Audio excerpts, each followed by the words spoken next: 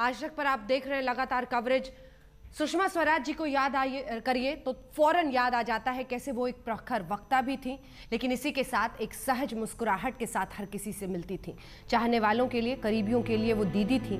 तो एक तरफ़ एक विदेश मंत्री जिसने हिंदुस्तान का सिर हर हमारे सहयोगी इस वक्त जुड़ रहे हैं हमारे साथ। हिमांशु, अब से कुछ ही देर में उनका पार्थिव शरीर बीजेपी दफ्तर लाया जाएगा। तस्वीरें बता रही हैं, प्रधानमंत्री भी शोकाकुल। हर कोई शोक स्तब्ध, लेकिन कार्यकर्ता ज़रूर चाहेंगे आज कि एक बार सुषमा जी के दर्शन करें।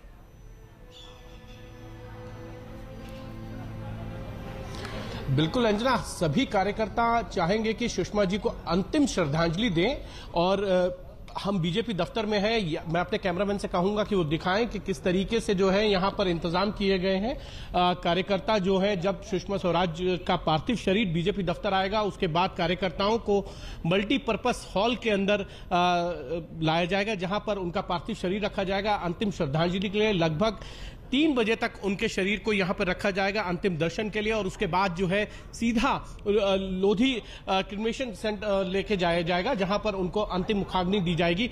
लेकिन मैं आपको बता दूँ कि सुषमा स्वराज के लिए आप जैसे कह रही थी ना कि हर कार्यकर्ता होगा। कल एम्स में था मैं रात को, आप भी थी। कार्यकर्ता, आम जनता हर कोई जानना चाहता था कि क्या हुआ सुषमा स्वराज को। वो नेता जो पिछले कुछ समय से बोलती नहीं थी, लेकिन ट्विटर पे जब भी लिखती थी ना तो कुछ ऐसा लिखती थी कि जिसको हम सबको हेडलाइन बनाना पड़ता था। आम जनता सुनना चाहती थी सुषमा स्वराज को। विदेश मंत्री के तौर पर उन्होंने कई बार राज्यसभा के अंदर ऐसे मुद्दों पर विपक्ष को आड़े हाथों लिया जो विपक्ष को लगता था कि वो आ, सरकार को घेरेगा। लेकिन जब सुषमा बोलती थी ना तो ऐसा लगता था कि विपक्ष के पास अब कोई जवाब नहीं है कोई सवाल नहीं रह गया। तो इसीलिए सुषमा स्वराज के लिए हमेशा ये कहा जाता है कि वो एक ऐसी प्रखर वक्ता थी जब भी कोई मुद्दे पर बोलती थी तो विपक्ष के लोगों को उसका सवाल का जवाब देना मुश्किल हो जाता था। सुषमा स्वराज का उन्नीस सौ छियानवे का वो भाषण याद कीजिए, जब तेरह दिन की सरकार के बाद वो विपक्ष में गए थे और उन्होंने भाषण में कहा था कि शरद पवार जो है वो शरद पवार की भूमिका में नहीं है ललित पवार की ललिता पवार की भूमिका में है। तब पूरा सदन जो है हँसी से गूंज उठा था। शरद पवार भी हंस रहे थे। तो इस तरीके के हास्य विनोद भी वो अपने भाषणों में प्रयोग करती थी और कटाक्ष करती थी तो जिस पर कटाक्ष करती थी उनको भी हँसी आ जाती थी उनके कटाक्ष को सुनते हुए। शेरों शायरों का बहुत प्रयोग करती थी अपने भाषणों में। हाँ, लेकिन पार्टी की आइडियोलॉजी और पार्टी की लाइन से कभी हटकर बिल्कुल हटकर भी कई बार वो आ, लेकिन इन सब के बीच एक अनुशासन जो पार्टी के अंदर का होता है उसको भी हमेशा उन्होंने बहुत महत्व दिया।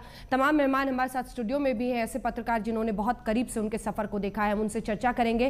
लेकिन सुषमा स्वराज जी के आकस्मिक निधन ने हर किसी को झकझोर दिया है। किसी को भी ये उम्मीद नहीं थी कि अकस्मात वो सबको यूँ ही छोड़कर चली जाएँगी। सुषमा जी ने भले ही दुनिया को अलविदा कह दिया हो लेकिन उनकी प्रखर वाणी और उनके ओजस्वी भाषण पूरी दुनिया हमेशा याद रखेगी इसी मंच से पाकिस्तान के प्रधानमंत्री ने भारत के संबंध में दो बातें कही, जिनका जवाब देना चाहूँगी। एक तो उन्होंने कहा कि मेरे देश में मानवाधिकार का उल्लंघन हो रहा है।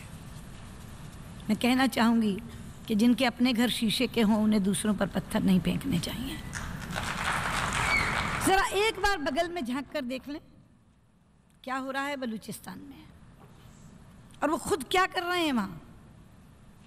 मैं कह सकती हूँ यहाँ के आज जो बलूचिस्तान में हो रहा है, वो यातनाओं की पराकाष्ठा है। और दूसरी बात उन्होंने कही कि भारत जो शर्तें बातचीत के लिए लगा रहा है, वो हमें मंजूर नहीं है। ये समझ नहीं रही कौन सी शर्त? किस शर्त की बात की जा रही है? हमारे शपथ ग्रहण समारोह से पहले, जब हमने पाकिस्तान के प्रधानमंत्री को समारोह में आने का न्योता दिया था, आमंत्रण दिया था तो क्या कोई शर्त रखी थी? मैं स्वयं इस्लामाबाद गई थी और कॉम्प्रिहेंसिव बायोलेट्रल डायलॉग हमने शुरू किया था इकट्ठे बैठकर। क्या कोई शर्त रखी थी? प्रधानमंत्री मोदी काबुल से दिल्ली आते हुए लाहौर उतर गए थे। कोई शर्त लगा कर गए थे क्या? ये कौन सी शर्तों की बात हो रही है?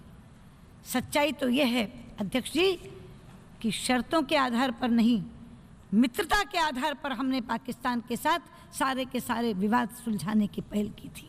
पर पाकिस्तान ये समझता है कि इस तरह की हरकतें करके या इस तरह के भड़काऊ बयान देकर वो भारत का कोई हिस्सा हमसे छीन सकता है। तो मैं पूरी दृढ़ता और स्पष्टता के साथ यहाँ ये कह देना चाहती हूँ कि आपका ये मंसूबा कभी कामयाब नहीं होगा। काश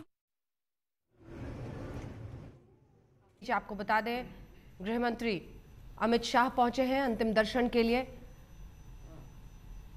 न सिर्फ़ प्रधानमंत्री को, बल्कि गृह मंत्री अमित शाह को भी ट्विटर के ज़रिए धन्यवाद दिया था। सुषमा स्वराज जी ने बीती शाम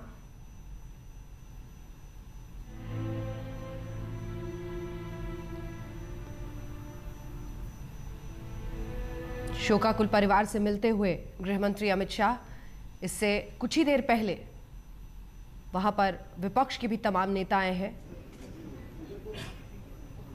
सोनिया गांधी, मनमोहन सिंह, तमाम नेता और ये अमित शाह, गृहमंत्री बेटी पंखुरी और साथ ही उनके पति से मिलते हुए हर कोई हैरान है, क्योंकि वो बीती शाम तक लोगों से बातचीत कर रही थी।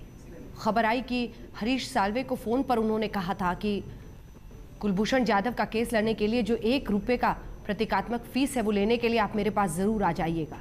बहुत खुश थी इस बात से कि धारा 370 को हटाने वाला जम्मू कश्मीर पुनर्गठन बिल राज्यसभा के बाद लोकसभा में भी पास हो गया है। बधाई दी प्रधानमंत्री को और कहा कि मुझे इसी